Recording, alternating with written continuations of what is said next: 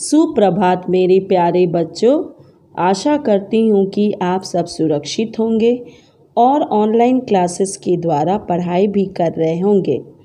तो आज हम बच्चों हिंदी पाठ्य पुस्तिका पावनी से अंग और अह की मात्रा का पुनरावृत्ति करेंगे।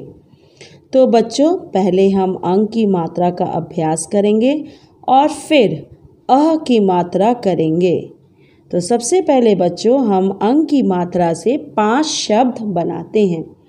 तो पहला शब्द क्या है बच्चों? रंग। दूसरा शब्द शंख।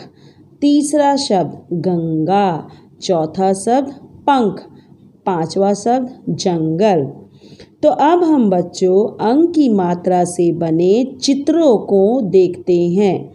तो ये किसका चित्र है बच्चों? हंस। ये किसका चित्र है बच्चों? अंकुर ये तीसरा चित्र किसका है बच्चों? अंगूर। ये चौथा चित्र किसका है बच्चों? बंदर। तो अब हम बच्चों अंक की मात्रा से वाक्य बनाते हैं। पहला शब्द, पतंग। तो बच्चों, हम पतंग से क्या वाक्य बना सकते हैं? यह पतंग है। दूसरा शब्द जंगल। तो बच्चों, जंगल से हम क्या वाक्य बना सकते हैं? शेर जंगल में रहता है। तीसरा शब्द रंग। तो बच्चों, हम रंग से क्या वाक्य बना सकते हैं? यह लाल रंग की टोपी है। तो बच्चों, चौथा शब्द क्या है? शंख।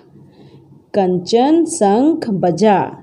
आशा करती हूँ कि बच्चों, आप सब मेरे साथ साथ दोहरा रहे होंगे। तो बच्चों, अब हम एक शब्दों में उत्तर देना करते हैं। तो बच्चों, देखते हैं पहला प्रश्न क्या है? आज कौन सी पंचमी है? तो बच्चों, इसका उत्तर क्या है? वसंत।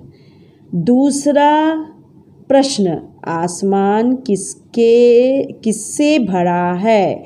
तो बच्चों, इसका उत्तर है पतंग। तीसरा प्रश्न, भारत का क्या बज रहा था?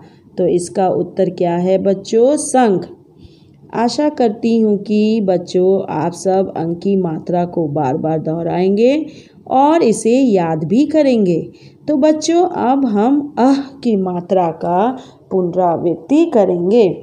तो बच्चों, पहले हम पाँच शब्द अह की मात्रा से बनाते हैं। तो पहला शब्द अतः, दूसरा शब्द प्रातः, तीसरा शब्द पुनः, चौथा शब्द प्रायः, पांचवा शब्द नमः। तो बच्चों, अब हम अह की मात्रा से बने चित्र को देखते हैं। तो बच्चों, ये क्या चित्र है? प्रातः। ये क्या चित्र है बच्चों? नमः। तो बच्चों, अब हम वाक्य बनाते हैं। तो पहला शब्द क्या है बच्चों? प्राता। तो बच्चों, प्रातः से हम क्या वाक्य बना सकते हैं? मैं प्रातः छः बजे उठता हूँ। दूसरा शब्द। दूसरा शब्द देखते हैं बच्चों क्या है? नमः।